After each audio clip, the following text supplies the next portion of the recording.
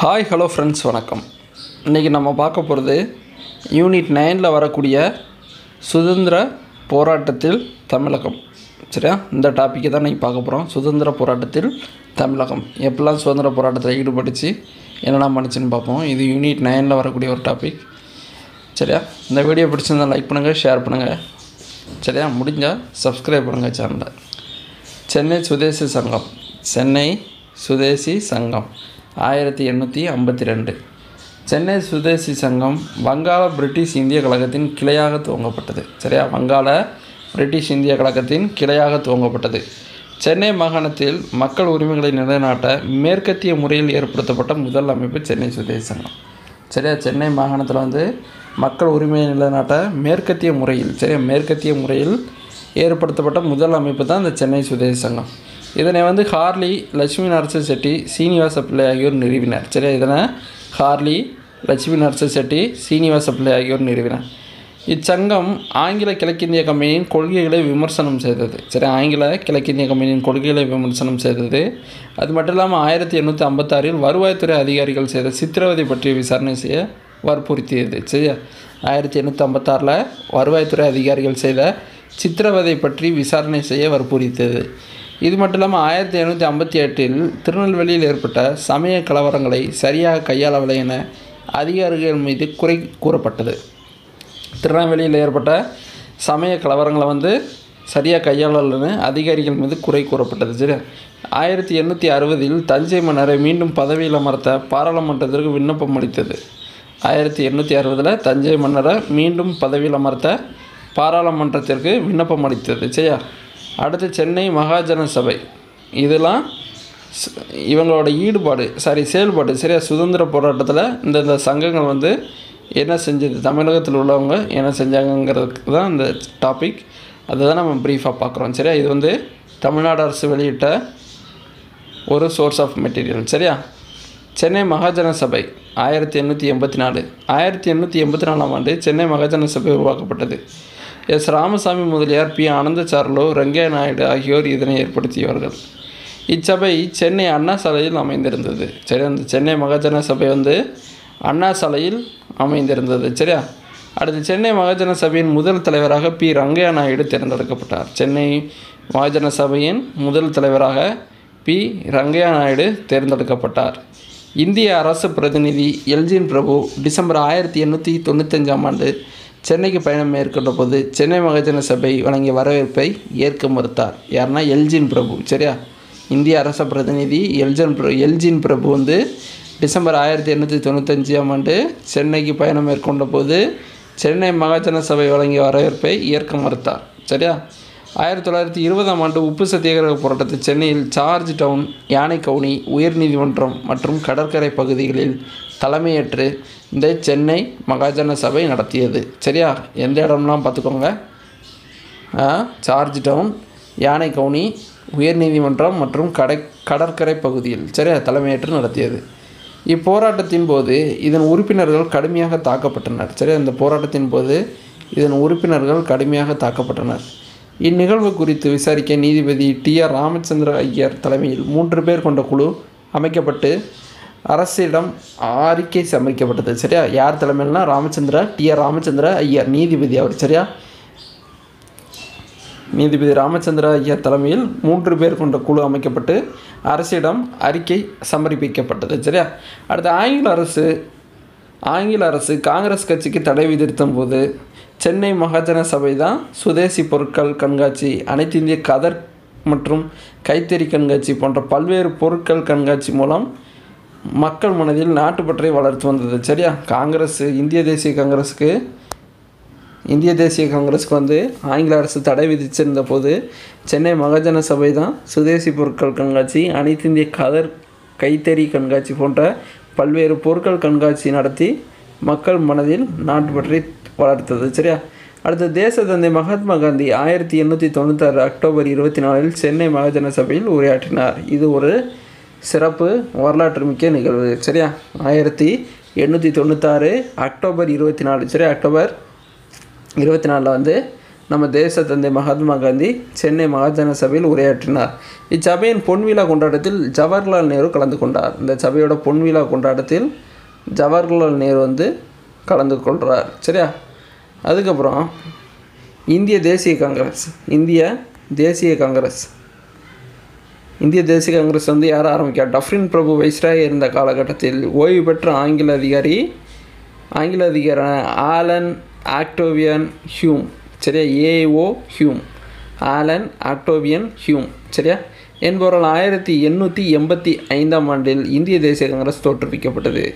இந்திய தேசிய காங்கிரஸின் முதல் மாநாடு எங்கே? ஆயிரத்தி எண்ணூற்றி எண்பத்தஞ்சு டிசம்பர் இருபத்தெட்டு அன்று பம்பாயில் கூடியது சரியா? ஆயிரத்தி எண்ணூற்றி எண்பத்தஞ்சு டிசம்பர் இருபத்தெட்டு பம்பாயின் பாம்பேயில் நடந்துச்சு.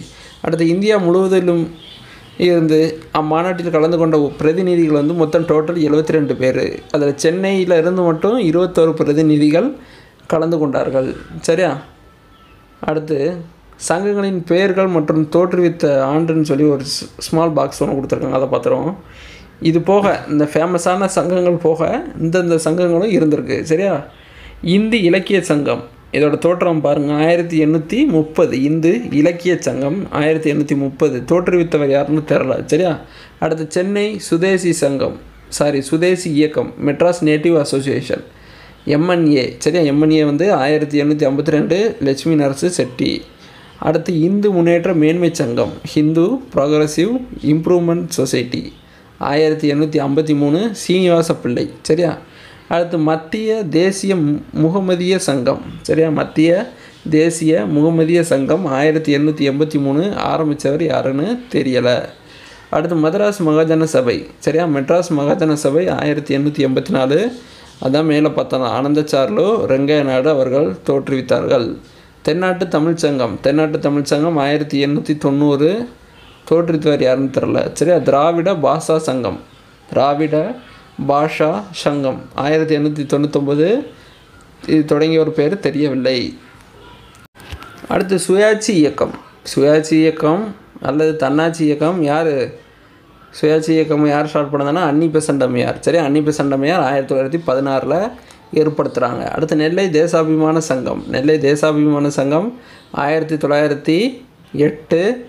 வவுசி வவு சிதம்பரனார் அவர்களால் ஏற்படுத்தப்பட்டது. சரி அடுத்து தென்னிந்தியர் நல உரிமை சங்கம் தென்னிந்திய நல உரிமை சங்கம் ஆயிரத்தி தொள்ளாயிரத்தி பதினாறு யாரெல்லாம் அதோட head sorry ஆரம்பிக்கப்பட்டவங்க T M Madhav Nair T Madhav Nair Thyagaraja Thyagaraja Chettiar சரியா? இவங்களால் ஆரம்பிக்கப்பட்டது தான் தென்னிந்தியர் நல உரிமை சங்கம். அடுத்து மேலே பார்த்தோம்ல இதில் எத்தனை பேர்? எழுபத்தி ரெண்டு பேரில் சென்னை மாகாணத்திலிருந்து பங்கேற்ற இருபத்தோரு பேரில் தமிழ்நாட்டு பகுதியிலிருந்து பங்கேற்றவர்கள் பதினாறு பேர் சரியா? அதாவது சென்னை மாகாணம் அப்போ வந்து நம்ம தமிழ்நாடு கேரளா ஆந்திராவில் சில பகுதிகள் கர்நாடகா ஒடிசாவில் கூட சில பகுதிகள் சேர்ந்துருந்தது. அதனால் சென்னை மாகாணத்திலிருந்து முதல் முதல் தே இந்திய தேசிய காங்கிரஸ் மாநிலத்தில் கலந்து கொண்ட பிரதிநிதிகள் எழுபத்தி ரெண்டு பேர்னு சொல்கிறாங்க அந்த எழுபத்தி ரெண்டு பேரில் இருபத்தோரு பேர் சென்னை மாகாணத்திலிருந்து அதாவது ஆந்திரா கர்நாடகா கேரளா எல்லா எல்லாத்தையும் சேர்த்து தான் அப்போ சென்னை மாகாணமாக இருந்துச்சு. அதிலிருந்து இருபத்தோரு பேர் சேர்ந்துக்கிட்டாங்கன்னு முக்கியமாக தமிழ்நாட்டில் இருந்து எத்தனை பேர் கலந்துருக்காங்க? பதினாறு பேர் கலந்துக்கிட்டு இருக்காங்கன்னு சொல்கிறாங்க சரியா? பதினாறு பேர் தமிழகத்திலிருந்து மட்டும் கலந்து கொண்டார்கள். இந்திய தேசிய முதல் மாநாட்டில். சரியா? தமிழ்நாட்டு பிரதிநிதிகள் அனைவரும் சென்னை மகாஜன சங்கத்தின் சார்பாக சென்றவர்கள் ஆவர். தமிழ்நாட்டு பிரதிநிதிகள் அனைவரும் சென்னை மகாஜன சங்கத்தின் முக்கியமான பாயிண்ட் சரியா? சென்னை மகாஜன சங்கத்தின் சார்பாக சென்றவர்கள் ஆவர். முதல் காங்கிரஸ் மாநாட்டு தலைவராக டபிள்யூஜி பானர்ஜி டபிள்யூசி பானர்ஜியின் பெயரை வழிமொழிந்து மாநாட்டின் முதல் தீர்மானத்தை முன்மொழிந்த பெருமை தமிழ்நாட்டு பிரதிநிதியான எஸ். சுப்பிரமணிய ஐயருக்கே கிடைத்தது. சரியா? இந்த டபிள்யூசி பானர்ஜியோட பேரை முன்மொழிஞ்சது யார்? நம்ம தமிழ்நாட்டு பிரதிநிதியான எஸ். சுப்பிரமணிய ஐயர். சரியா? ஸோ இதெல்லாம் முக்கியமான வரலாற்று நிகழ்வுகள். சரியா? அடுத்து டேவிட் அர்னால்டு. என்ன சொல்கிறாரு காந்தி தனது ரவுலட் சத்தியாகிரகத்துக்கு தமிழ்நாட்டு தீவிரவாதிகளின் ஆதரவை நாடினார். காந்தி வந்து தனது ரவுலட் சத்தியாகிரகத்திற்கு தமிழ்நாட்டு தீவிரவாதிகளின் ஆதரவை நாடினார்னு டேவிட் அர்னால்டு சொல்லியிருக்காரு. சரியா? அடுத்து காங்கிரஸின் மூன்றாவது மாநாடு ஆயிரத்தி எண்ணூற்றி எண்பத்தி ஏழு டிசம்பர் நம்ம எங்கே நடக்கு? சென்னையில் நடக்கு சரியா? ஆயிரத்தி எண்ணூற்றி எண்பத்தி ஏழு சென்னையில் நடக்கு ரெண்டாம் மாநாடு கல்கத்தாவில் நடந்திருக்கும் சரியா? எங்கே நடக்குன்னா ஆயிரம் விளக்கு பகுதியில் மக்கள் தோட்டம் என்னும் இடத்தில் நடைபெற்றது சரியா? ஆயிரம் விளக்கு பகுதியில் மக்கள் தோட்டம் எனும் என்னுமிடத்தில் என்னும் இடத்தில் நடைபெற்றது. காங்கிரஸ் வினாவிடை அல்லது இத்தேசத்தில் வருஷா வருஷா கூடி வரும். காங்கிரஸ் ஜ ஜ ஜனசபையின் சரித்திரம் நூலை இந்த ஆண்டில் முடும்பை வீர ரா முடும்பை வீர ராகவாச்சாரியார் வெளியிட்டார். காங்கிரஸ் ஜனசபையின் சரித்திரம் நூலை இந்த ஆண்டில் முடும்பை வீர ராகவச்சாரியார் வெளியிட்டார். சரியா? அடுத்து மூன்றாவது மாநாட்டின் மாநாட்டின் சிறப்பம்சம் அதன் செலவின் பெரும்பகுதி பெரிதும் மக்களிடமிருந்து வசூலிக்கப்பட்டது. மூன்றாவது இந்திய தேசிய காங்கிரஸோட மாநாட்டின் சிறப்பம்சம் என்னென்னா அதோட செலவில் பெரும்பகுதி வந்து மக்களிடமிருந்து வசூலிக்கப்பட்ட நிதி நடத்தப்பட்டிருக்கு. சரியா? அது சென்னை மாகாணத்தின் சார்பில் முந்நூற்றி அறுபத்தி ரெண்டு பிரதிநிதிகள் பங்கேற்ற இம்மாநாட்டிற்கு பக்ருதீன் தியாப்ஜி. சரி அதில் பத்ருதீன் தியாப்ஜி வந்து தலைமை வகித்தார். சென்னை சென்னை மாகாணத்தில் நடைபெற்ற இந்திய தேசிய காங்கிரஸ் மாநாட்டில் முந்நூற்றி அறுபத்தி ரெண்டு பிரதிநிதிகள் பங்கேற்றிருக்கிறார்கள் பங்கேற்று இருக்கிறார்கள். இந்த மாநாட்டிற்கு தலைமை வகித்தவர் யாருதுன்னா பக்ருதீன் தியாப்ஜி. முதல் முறையாக திறந்தவெளி திடலில் அமைக்கப்பட்ட பந்தலில் நடைபெற்றது. சரியா? மற்ற மற்ற ரெண்டு மாநாடும் ஒரு ஹாலில் நடந்திருக்கும். ஆனால் இது மட்டும் திறந்தவெளி திடலில் அமைக்கப்பட்ட பந்தலில் நடைபெற்றதுன்னு சொல்கிறாங்க சரியா? அன்றைய சென்னை கவர்னரான கன்னிமாரா பிரபு இம்மாநாட்டு பிரதிநிதிகள் அனைவருக்கும் சிறப்பு விருந்தளித்து சிறப்பித்தார். அன்றைய இது முக்கியமான நிகழ்வு. அன்றைய சென்னை கவர்னரான கன்னிமாரா பிரபு இம்மாநாட்டு பிரதிநிதிகள் அனைவருக்கும் சிறப்பு விருந்தளித்து சிறப்பித்தார். சரியா? ஆயிரத்தி தொள்ளாயிரத்தி இருபது நாக்பூர் காங்கிரஸ் மாநாட்டின் தலைவர் சிபி விஜய ராகவச்சாரியும் ஆயிரத்தி தொள்ளாயிரத்தி இருபத்தாறு கவுகாத்தி மாநாட்டின் தலைவர் எஸ் சீனிவாச ஐயங்காரும் தமிழ்நாட்டைச் சேர்ந்தவர்களே. ரெண்டு ரெண்டு தமிழ்நாட்டு தலைவர்கள் வந்து இந்தி தேசிய காங்கிரஸ் மாநாட்டின் தலைவர்களாக இருந்திருக்காங்க. எப்போம்னா ஆயிரத்தி தொள்ளாயிரத்தி இருபது நாக்பூர் காங்கிரஸ் மாநாடு தலைவர் பேர் என்னென்னா சிபி விஜய ராகவாச்சாரியும் ஆயிரத்தி தொள்ளாயிரத்தி இருபத்தாறு கவுகாத்தி மாநாட்டின் போது தலைவர் எஸ். சீனிவாச ஐயங்காரும் தமிழ்நாட்டைச் சேர்ந்தவர்களே. சரியா? சுதந்திரத்துக்கு முன்பாக சென்னையில் இந்திய தேசிய காங்கிரஸின் மாநாடுகள் ஏழு முறை நடைபெற்றுள்ளன. எப்படி? சுதந்திரத்திற்கு முன்பாக சென்னையில் மட்டும் இந்திய தேசிய காங்கிரஸ் மாநாடுகள் ஏழு முறை நடைபெற்றிருக்குன்னு சொல்கிறாங்க சரியா? அடுத்து அதோட ஆண்டு பாருங்கள் ஆயிரத்தி எண்ணூற்றி எண்பத்தஞ்சு ஆயிரத்தி எண்ணூற்றி எண்பத்தஞ்சு அது யார் தலைமையில் நடந்திருக்கு? பக்ருதீன் தியாப்ஜி தலைமையில் ஆயிரத்தி எண்ணூற்றி தொண்ணூற்றி நாலில் ஆல்பர்ட் வெப் ஆல்பர்ட் வெப் சரியா? அடுத்து ஆயிரத்தி எண்ணூற்றி தொண்ணூற்றி எட்டில் ஆனந்த மோகன் போஸ் ஆயிரத்தி தொள்ளாயிரத்தி மூணில் லால்மோகன் கோஷ் சரியா? அடுத்து ஆயிரத்தி தொள்ளாயிரத்தி பதினாலில் ராஷ்பிகாரி கோஷ் அடுத்து ஆயிரத்தி தொள்ளாயிரத்தி இருபத்தி ஏழில் ஏ எம்ஏ அன்சாரி சரியா? இவங்கெல்லாம் தலைமை வகிச்சிருக்காங்க. இதை பார்த்துக்கோங்க. ஏதாவது முக்கியமான ஆண்டை கொடுத்து தலைமை வைத்தவர் கூட கேட்கலாம் சரியா? அடுத்து தமிழ்நாட்டு மிதவாதிகள். காங்கிரஸில் கோபாலகிருஷ்ண கோகலையே பின்பற்றியவர்கள் மிதவாதிகள் என்று அழைக்கப்பட்டனர்.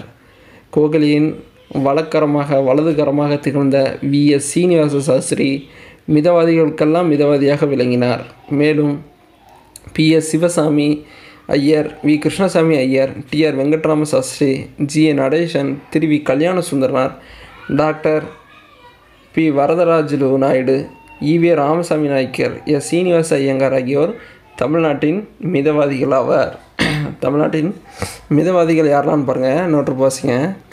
யாரெல்லாம்னா சீனிவாச சாஸ்திரி. சரியா? அவர் யாருன்னா கோபாலகிருஷ்ண கோகுலையின் வலதுகரமாக இருந்திருக்காரு. சரியா? V S Srinivasa Sastri. இவர் வந்து மிதவாதிகளுக்கெல்லாம் மிதவாதி.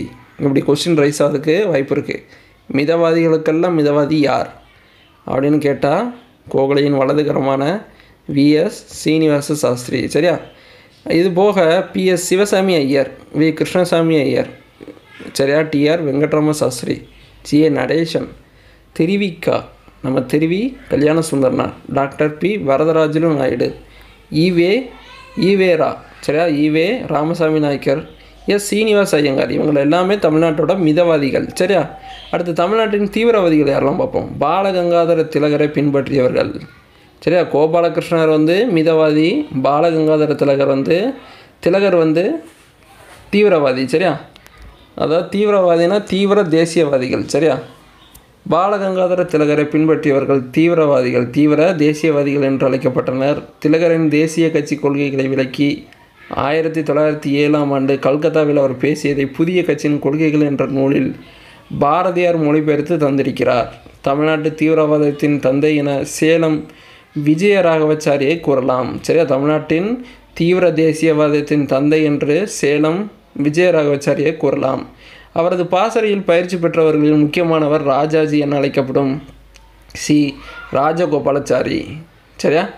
T M Nair T. Madhava Nair S. Kasturi Rangar. சரியா? கஸ்தூரி ரங்க ஐயங்கார் ஏ. ராமசாமி ஐயங்கார் டி. ரங்காச்சாரி உ. சிதம்பரம் பிள்ளை அரவிந்த் கோஷ். சுப்பிரமணிய சிவா சி சுப்பிரமணிய பாரதி வாவே சுப்பிரமணிய ஐயர் நீலகண்ட பிரம்மச்சாரி வாஞ்சிநாதன் சுதேசி பத்மநாப ஐயர் ஆகியோர் தமிழ்நாட்டின் குறிப்பிடத்தக்க காங்கிரஸ் தீவிரவாதிகளாவார். சரியா? வாவு சிதம்பரனார் தமிழ்நாட்டு திலகர் என்று அழைக்கப்பட்டார். வாவு சிதம்பரனார் தமிழ்நாட்டின் திலகர் என்று அழைக்கப்பட்டார். சரியா? முக்கியமானது. தமிழ்நாட்டில் திலகரின் தளபதிகளாக வஉசியும் சுப்பிரமணிய சிவாவும் கருதப்பட்டனர். இது முக்கியமான பயன் சரி தமிழ்நாட்டில் திலகரின் தளபதிகளாக வஉசியும் சுப்பிரமணிய சிவாவும் கருதப்பட்டனர். சரியா? அடுத்து தமிழ்நாட்டின் புரட்சி தேசியவாதிகள் யாருன்னு பார்ப்போம். மிதவாதிகள் மற்றும் தீவிரவாதிகளின் நடவடிக்கை தோல்வியுற்ற போது தீவிரவாதிகளில் சிலர் பயங்கரவாதிகள் ஆயினர். சரியா? தீவிரவாதிகளில் சிலர் பயங்கரவாதிகள் ஆயினர். ஆயிரத்தி தொள்ளாயிரத்தி அஞ்சில் லண்டனில் home rule league home rule league என்ற அமைப்பையும் ஆயிரத்தி தொள்ளாயிரத்தி அறுபத்தாறில் இந்தியா விடுதி என்ற முகாமையும் அமைத்தனர். தமிழ்நாட்டைச் சேர்ந்த வாவே Subramaniya ஐயரும் Trichy doctor T S S ராஜனும் எம்பிடி ஆச்சாரியாவும் அப்பயங்கரவாத பாசறையில் பயிற்சி பெற்றவர்கள் ஆவார். யாரான்னு பாருங்கள் சுப்பிரமணிய ஐயர் வாவேசு. சரியா? வாவேசுன்னு சொல்லுவாங்க. வாவே Subramania Iyer Trichy doctor T S S Rajan M P T ஆச்சாரியாவும் அந்த பயங்கரவாத பாசறையில் பயிற்சி பெற்றவர்கள்னு சொல்கிறாங்க சரியா? ஆயுத புரட்சியின் மூலம் விடுதலை பெறுவதே இவர்களது நோக்கம். இவங்களோட நோக்கம் ஆயுத புரட்சியின் மூலம் விடுதலை பெறுவது. சரியா? புரட்சிவாதியான நீலகண்ட பிரம்மச்சாரி ஆயிரத்தி தொள்ளாயிரத்தி பத்து ஏப்ரல் பத்தாம் தேதி பாரத மாத சங்கம் என்ற அமைப்பை ஏற்படுத்தினார். யார்? நீலகண்ட பிரம்மச்சாரி. சரியா? பால பால பாரத மாதா சங்கம். சரி ஆயிரத்தி தொள்ளாயிரத்தி பத்து ஏப்ரல் பத்தாம் தேதி என்ற அமைப்பை ஏற்படுத்தினார். நீலகண்ட பிரம்மச்சாரி தான் பாரத மாதா சங்கத்தை ஏற்படுத்துகிறாரு சரியா? இவரின் சந்திப்பிற்கு பின்னரே வாவு வா வே சு ஐயரிடம் துப்பாக்கி பயிற்சி பெற்ற வாஞ்சிநாதன் வாவே சூட்ட துப்பாக்கி பயிற்சி பெற்ற வாஞ்சிநாதன் ஆயிரத்தி தொள்ளாயிரத்தி பதினொன்று சரியா? ஆயிரத்தி ஆயிரத்தி தொள்ளாயிரத்தி பதினொன்று ஜூன் பதினேழு ஆயிரத்தி தொள்ளாயிரத்தி பதினொன்று ஜூன் பதினேழாம் நாள் திருநெல்வேலி மாவட்ட கலெக்டர் ஆஸ் துறையை மணியாச்சி ரயில் நிலையத்தில் சுற்று கொண்டார் சரியா? யார்கிட்ட பயிற்சி பெற்றோர்னு சொல்கிறாங்க வாவே சுப்பிரமணிய ஐயர்கிட்ட சரியா?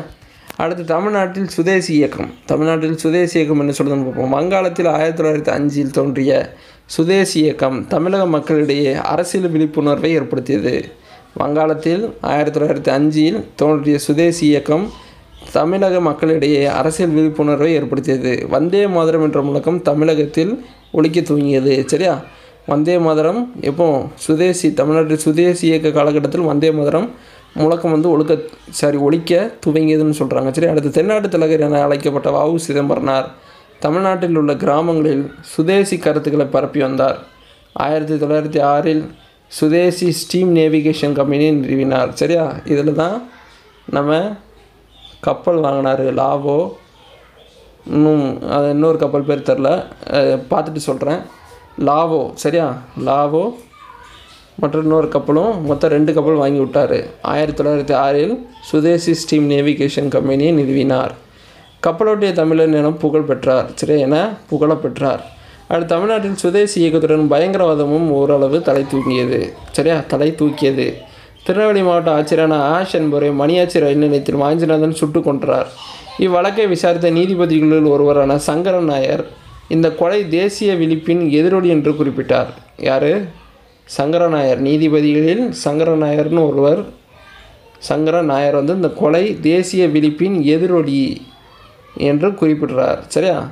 சுதேசி இயக்க தலைவர்களான வ உ சிதம்பரனார் பாரதியார் சுப்பிரமணிய சிவா போன்றவர்களது பேச்சும் எழுத்தும் மக்களை எழுச்சியுற செய்தன. சரி யாரோட எழுத்துலாம் வஉசி நம்ம பாரதியார் சுப்பிரமணிய சிவா இவர்களோட பேச்சு எழுத்து மக்களை வந்து எழுச்சியுற சேதனன்னு சொல்கிறாங்க சரியா?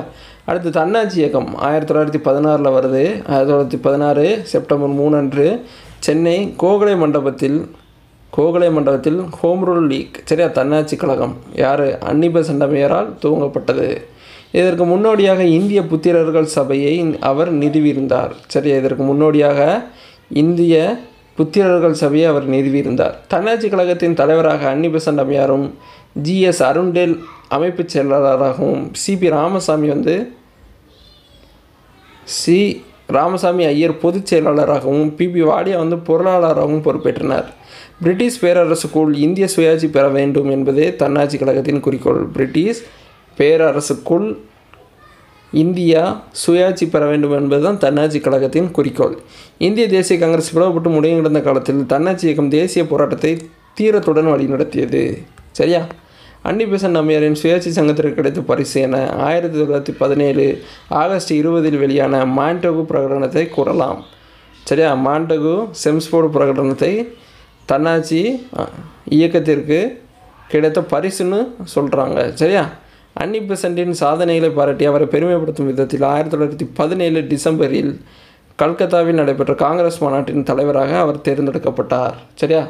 அன்னி பெசன்ட் அவர்களின் சாதனைகளை பாராட்டி அவரை பெருமைப்படுத்தும் விதத்தில் ஆயிரத்தி தொள்ளாயிரத்தி பதினேழு டிசம்பரில் கல்கத்தாவில் நடைபெற்ற காங்கிரஸ் மாநாட்டின் தலைவராக யார்? அன்னி பெசன்ட் அம்மையாரை இந்திய தேசிய காங்கிரஸ் தேர்ந்தெடுக்கு. சரியா? அடுத்து ரவுலட் சத்தியாகிரகம். மகாத்மா காந்தி தமிழ்நாட்டில் தங்கியிருந்த போது தான் ரவுலட் சட்டம் நிறைவேற்றப்பட்டது. அதை எதிர்த்து காந்தி ரவுலட் சத்தியாகிரகத்தை தமிழ்நாட்டில் இருந்து தான் தொடங்கினார். சரியா? இது கேட்கப்படக்கூடிய கொஸ்டின் சரியா? ரவுலட் சத்தியாகிரகத்தை காந்தி எங்கேருந்து தொடங்கினார்? காந்தி ரவுலட் சத்தியாகிரகத்தை தமிழ்நாட்டிலிருந்து தொடங்கினார். சரியா? இது தமிழ்நாட்டுக்குரிய பெருமை. காந்தியின் முதல் அகில இந்திய சத்தியாகிரக போராட்டம் இதுதான். முக்கியமான அடுத்த பாயிண்ட் காந்தியோட முதல் அகில இந்திய சத்தியாகிரக போராட்டமும் இந்த போராட்டம் தான் சரியா? ஸோ ரவுலட் சத்தியாகிரகம் முக்கியமானது. தமிழ்நாட்டுக்கு ஆயிரத்தி தொள்ளாயிரத்தி பத்தொம்போது மார்ச் பதினேழு அன்று வருகை தந்த காந்தி கஸ்தூரி ரங்க ஐயங்கார் வீட்டில் தங்கினார். சரியா? அங்கே ரவுலட் சட்ட எதிர்ப்பு திட்டம் உருவாக்கப்பட்டு அதன் தொடர்ச்சியாக சத்தியாகிரக சபை உருவாக்கப்பட்டது. காந்தி சத்தியாகிரக சபையின் தலைவர் சி. விஜயராகவச்சாரி டி. பிரகாசம் ஐயர் துணைத் தலைவர்கள்.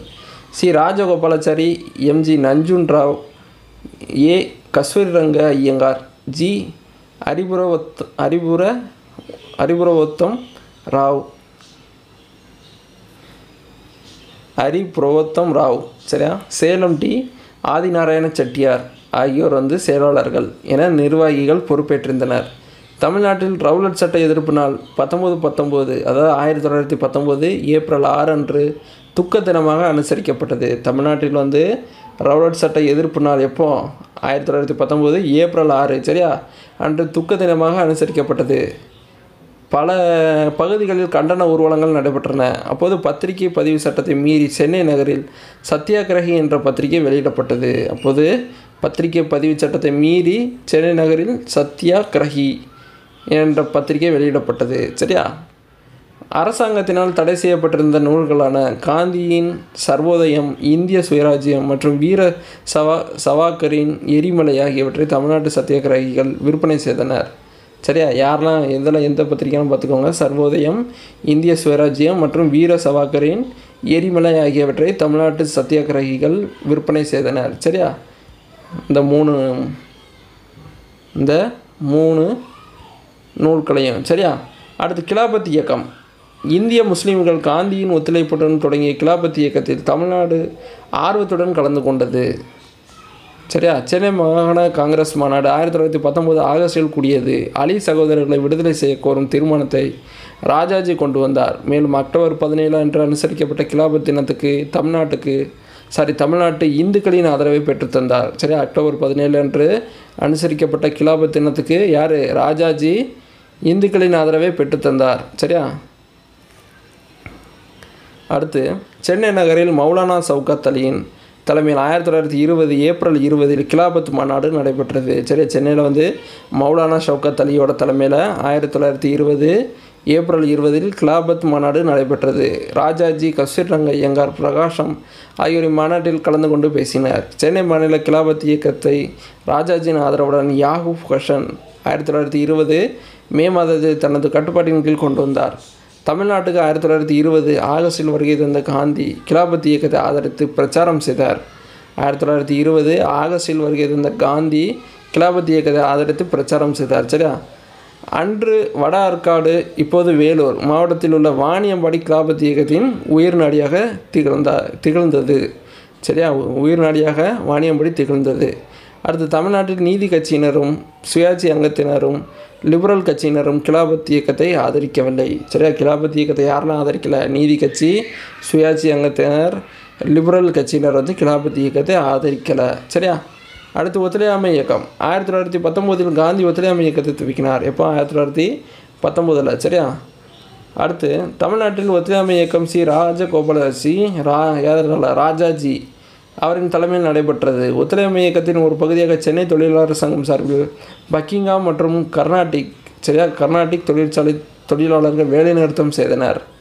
தமிழ்நாட்டில் காங்கிரஸ் கட்சியினர் கொண்டு வந்த சட்டமன்ற புறக்கணிப்பு வெற்றி பெறவில்லை. அதற்கு காரணம் நீதி கட்சி தேசிய நீரோட்டத்திலிருந்து விலகி அரசாங்கத்தின் ஆதரவை பெற்று ஒத்துழையாமை இயக்கத்தை ஒதுக்கிவிட்டு மக்களின் செல்வாக்கை பயன்படுத்தி ஆட்சியை கைப்பற்றியதுதான். சரி அடுத்து தமிழ்நாட்டின் காங்கிரஸ்காரர்கள் ஆயிரத்தி தொள்ளாயிரத்தி இருபத்தொன்று ஜனவரி பத்தாம் தேதி சென்னைக்கு வருகை தந்த கானட் கோம் கோமகனை கானட் கோமகனை புறக்கணித்தனர். சரியா? கஸ்தூரங்க ஐயங்கார் சீனிவாச ஐயங்கார் சத்தியமூர்த்தி வஉசி சிங்காரவேலு செட்டியார் டாக்டர் வரதராஜன் நாயுடு போன்ற தலைவர்களின் முயற்சியால் ஒத்துழையாமை இயக்கம் பெரும் வீச்சுடன் நடைபெற்றது. மேலும் இந்து சுதேசிமித்திரன் தேசபக்தன் முகமதன் போன்ற பத்திரிகைகளும் இந்த இயக்கம் வளர உதவின. தமிழகத்தில் ஊர் ஊர்வலங்களும் தமிழகத்தில் ஊர்வலங்களும் பொதுக்கூட்டங்களும் நடைபெற்றன. சரியா? பல்லாயிரக்கணக்கில் மக்கள் சிறை சென்றனர். ஒத்துழையாமை இயக்கத்தின் பொது மலபாரில் சாரி ஒத்துழையாமை இயக்கத்தின் போது மலபாரில் நிகழ்ந்த மாப்ளா கழகம் தமிழ்நாட்டில் மோசமான விளைவுகளை ஏற்படுத்தியது. அதனால் தமிழ்நாட்டில் கிலாபத் ஒத்துழையாமை இயக்கங்கள் வலுவிழந்து போயின. சௌரி சௌராவில் நடைபெற்ற வன்முறை நிகழ்ச்சியினால் காந்திய ஒத்துழையாமை இயக்கத்தை விலக்கி கொண்டார். சரியா? சௌரி சௌராவில் ஒத்துழையாமைக்கும் முடிவுக்கு வர காரணம் இந்த சௌரி சௌரா சம்பவம் சரியா? அங்கே இருபத்தி ரெண்டு காவலர்கள் கொல்லப்படுவார்கள். அதனால் காந்தியே தேசத்தந்தை காந்தியே ஒத்துழையாமை இயக்கத்தை விலக்கிக் கொள்வார் சரியா? அடுத்து சுயராஜ்ய கட்சி. இந்திய விடுதலை போராட்டம் தேக்க நிலையில் இருந்தபோது சுயராஜ்ய கட்சியினர் சட்டமன்றத்துக்குள் ஒத்துழையாமை இயக்கத்தை தொடங்குவதென முடிவு செய்தனர். தமிழ்நாட்டில் கஸ்தூர் ரங்க ஐயங்கார் சீனிவாச ஐயங்கார் வரதராஜ நாயுடு விஜயராகவச்சாரி ஏ. ரங்கசாமி ஐயங்கார் ஆகியோர் சுயராஜ்ய கட்சியில் சேர்ந்து சட்டமன்ற நுழைவை ஆதரித்தனர். மத்திய சட்டமன்றத்திற்கு ஆயிரத்தி எண்ணூற்றி தொண்ணூற்றி ரெண்டு நவம்பர் பதிமூணு அன்று நடைபெற்ற தேர்தலில் தமிழ்நாட்டிலிருந்து தேர்ந்தெடுக்கப்பட்ட Swarajya கட்சியினருள் A. Rangaswami Iyengar R. K. Shanmugam Chettiar N. Srinivasa Iyengar ஆகியோர் குறிப்பிடத்தக்கவராக சரியா? குறிப்பிடத்தக்கவர்கள் ஆவர். சென்னை மாநில சட்டமன்ற தேர்தலில் சுயராஜ்ய கட்சி நாற்பத்தோரு இடங்களை பெற்றாலும் கூட அமைச்சரவை அமைக்க மறுத்துவிட்டது. அதனால் டாக்டர் பி. சுப்பராயன் தலைமையில் சுயேட்சை அமைச்சரவை அமைக்கப்பட்டது. தமிழ்நாட்டில் சுயராஜ்ய கட்சியினரால் இரட்டை ஆட்சியின் தீமைகளை எடுத்துக்காட்ட முடிந்தது. ஓடிய அதை செயலுக்கு செய்ய முடியவில்லை. அடுத்து நீல் சிலை சத்தியாகிரகம் சரியா?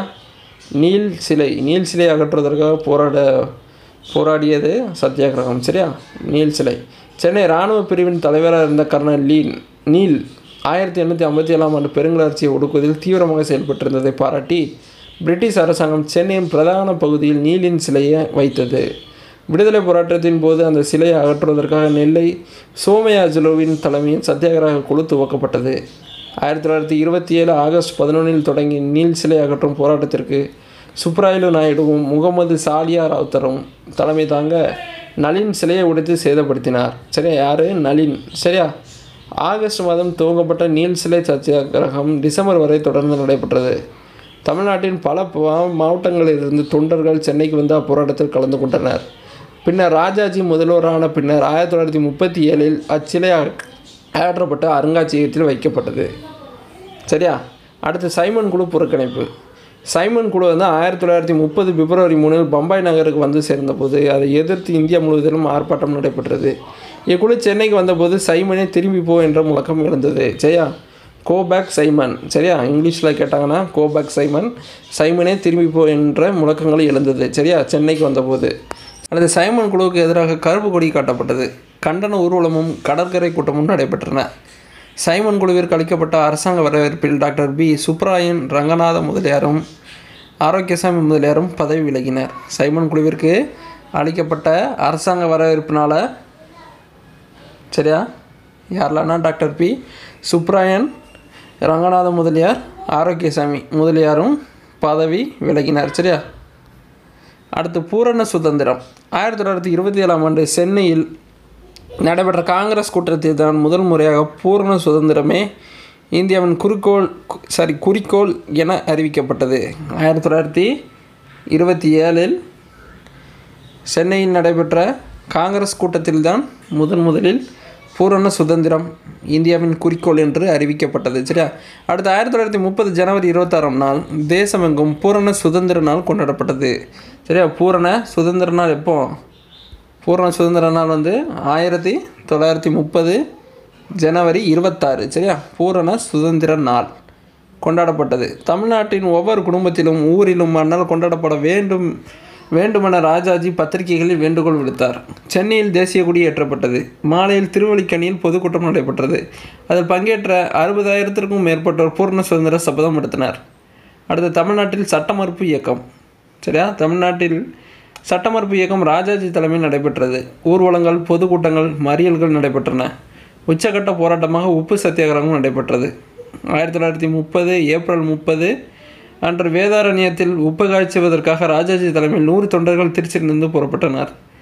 சத்தியாகிரகிகள் பாரதியாரின் அச்சமலை பாடலையும் இந்த வேதாரண்யம் யாத்திரைக்கென்றே நாமக்கல் கவிஞர் ராமலிங்கம் பிள்ளை புனைந்த கத்தியின்றி ரத்தமின்றி யுத்தமொன்று வருகிறது என்ற பாடலையும் பாடியவரே நடந்து சென்றனர். தஞ்சை மாவட்ட கலெக்டராக அப்போது இருந்த ஏ ஜே தார்ன் என்பவர் இப்போராட்டத்தை நசுக்க பல வழிகளில் முயன்றார். ஆனாலும் போராட்ட வீரர்களுக்கு திருவையாறு தஞ்சாவூர் கும்பகோணம் போன்ற நகரங்களில் உற்சாக வரவேற்பு அளிக்கப்பட்டது. வேதாரண்யத்தை அடைந்து தடையை மீறி உப்பு காய்ச்சிய ராஜாஜி கைது செய்யப்பட்டு சிறையில் அடைக்கப்பட்டார். அவரை தொடர்ந்து சர்தார் வேதரத்னம் பிள்ளை டாக்டர் ராஜன் திருமதி ருக்குமணி லட்சுமிபதி போன்ற தலை போன்ற தலைவர்கள் போராட்டத்தை தொடர்ந்து நடத்தினர். திருச்சியிலிருந்து ராஜாஜி தலைமையில் உப்பு சத்தியாகிரகிகள் புறப்பட்ட அன்றே ஆந்திர கேசரி பிரகாசம் தலைமையில் சென்னை நகரில் உப்பு சத்தியாகிரக போராட்டம் தொடங்கப்பட்டது. சரியா? போராட்டம் தொண்டர்கள் அனைவரும் போராட்ட தொண்டர்கள் அனைவரும் கைது செய்யப்பட்டனர்.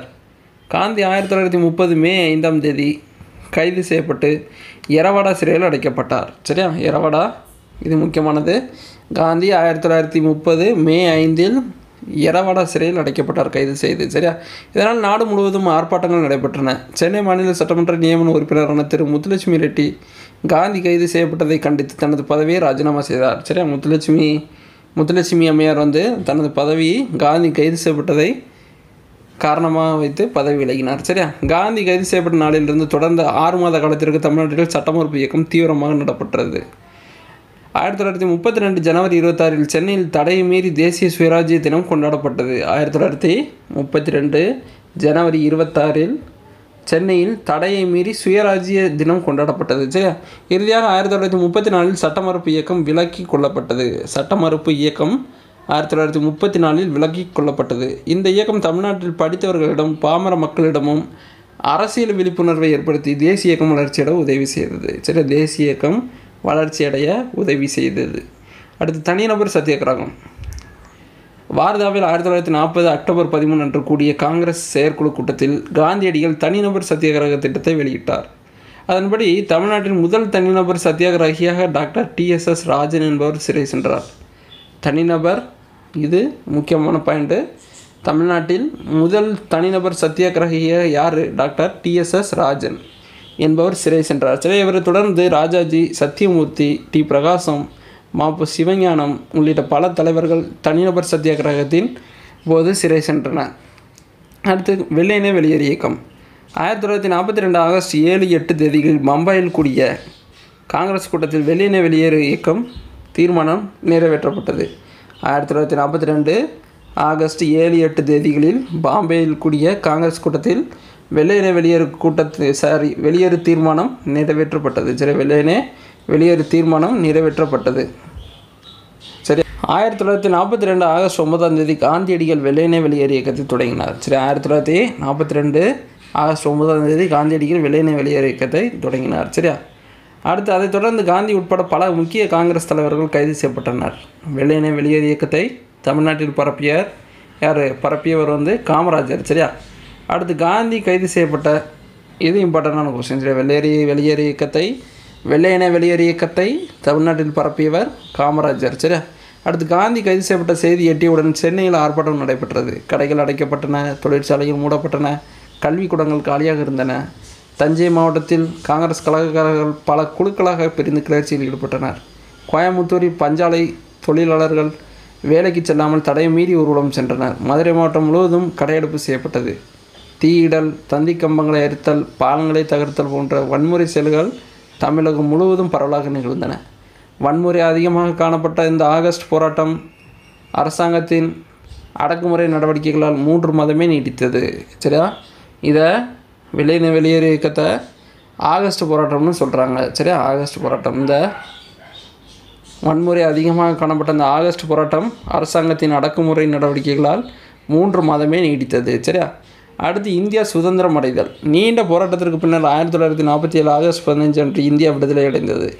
ஆங்கிலேயரின் யூனியன் ஜாக் கொடி இறக்கப்பட்டு இந்தியாவின் மூவர்ண கொடி இறக் ஏற்றப்பட்டது. சரியா? மூவர்ண கொடி இல்லை பறக்க விடப்பட்டது சரியா? இந்தியா விடுதலை அடைந்த பொழுது ஓமந்தூர் ராமசாமி ரெட்டியார் தமிழக முதலமைச்சராக இருந்தார். விடுதலை நாளை நாட்டு மக்கள் மகிழ்ச்சி பொங்க விழாவாக கொண்டாடினார். கொண்டாடினர். சரியா? அப்போது இந்தியா சுதந்திர சுதந்திரம் அடைந்த போது தமிழகத்தோட முதலமைச்சராக யார் இருக்கார் ராமசாமி ஓமந்தூர் ராமசாமி ரெட்டியார். சரியா? சரி ஓகே ஃப்ரெண்ட்ஸ் இந்த வீடியோ பிடிச்சா லைக் பண்ணுங்கள் ஷேர் பண்ணுங்கள் முடிஞ்சால் இந்த சேனலை சப்ஸ்கிரைப் பண்ணி வச்சுக்கோங்க. சரியா? இது போன்ற நல்ல வீடியோக்கள் எப்பவும் வந்த வண்ணமே இருக்கும். வெற்றி நமது. நன்றி.